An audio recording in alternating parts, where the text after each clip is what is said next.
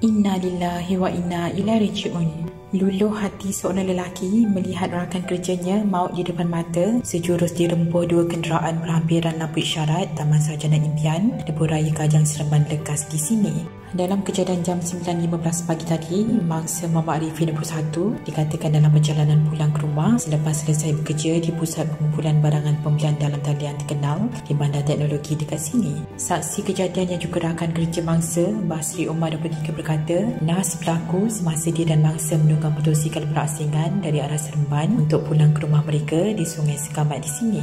Menurutnya, ketika kejadian, mangsa menunggang motosikal di hadapannya. Kejadian berlaku sekelip mata apabila mangsa digesel dan digilis dua kenderaan. Saya sempat melihat sebuah kereta berwarna putih dan sebuah lori yang meninggalkan lokasi tanpa berhenti untuk melihat keadaan mangsa. Saya tidak sempat mengambil nombor pendaftaran kenderaan itu kerana bergegas melihat keadaan Muhammad Arifin yang terbaring di atas jalan raya. Sementara itu, jurucakap perubatan Hospital Kajang berkata, mangsa disahkan meninggal dunia di lokasi kejadian. Katanya, hasil pemeriksaan mendapati kaki kanan mangsa mengalami kecederaan teruk dipercayai digilis kenderaan berat.